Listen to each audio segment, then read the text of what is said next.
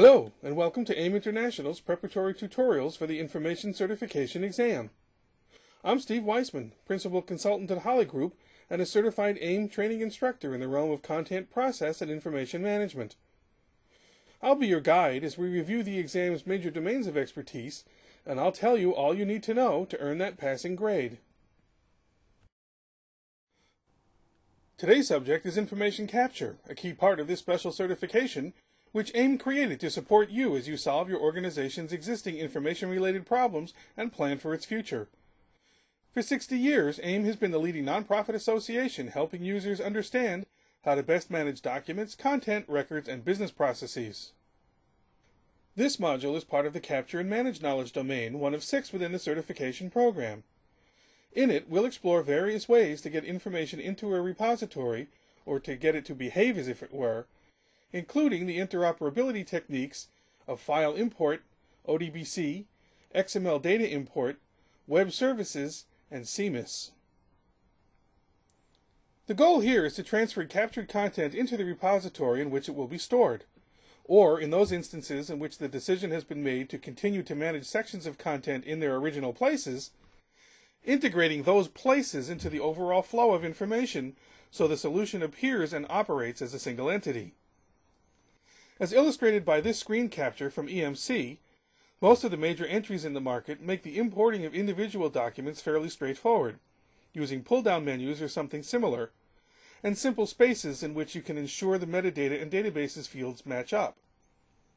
This only works, remember, if you've already done the heavy master data management work needed to clean and reconcile them, which I know you have.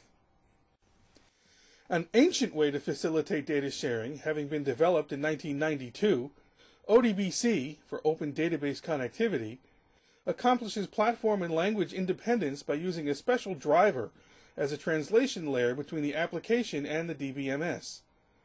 The application thus only needs to know ODBC syntax, and the driver can then pass the query to the DBMS in its native format, returning the data in a format the application can understand. It's the database equivalent to what Windows did for Office printing years ago, thus eliminating the need for software vendors to develop different drivers for each and every printer, and instead just develop one for Windows. XML has a comfy home here as well. Short for Extensible Markup Language, it's a method of encoding documents and parts of documents so they can be more easily searched and parsed. Although XML focuses mainly on documents, it's also widely used to represent data structures, and many application programming interfaces, APIs, have been developed so software can process XML data. Web services, too, can rely heavily on it, something we'll get to next. Notice that this screenshot, taken from within IBM Content Manager's System Admin Client, specifically calls XML out as an import function.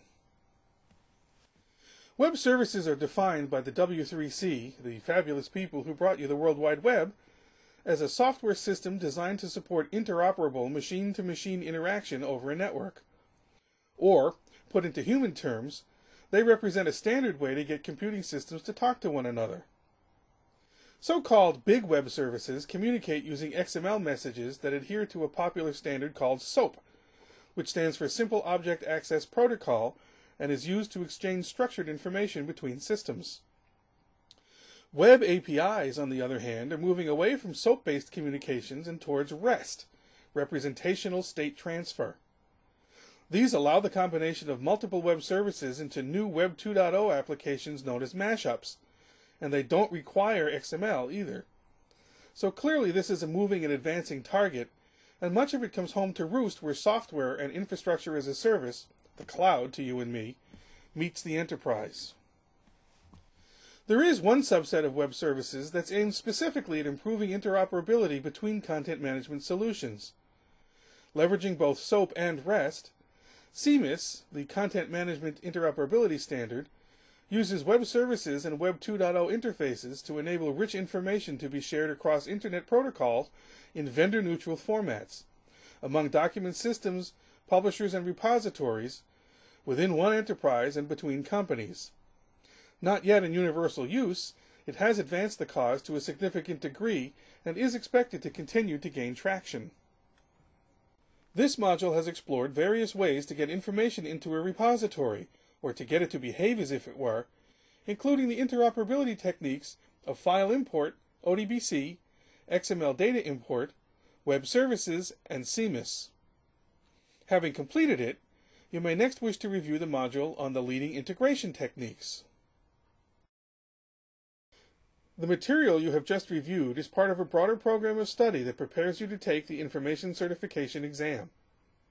This proctored test consists of 100 multiple choice questions and is delivered electronically by Prometric. You'll have two hours to complete it, and upon passing, you'll earn a professional certification that's valid for three years. For more information, please visit www.aiim.org slash certification. Thank you.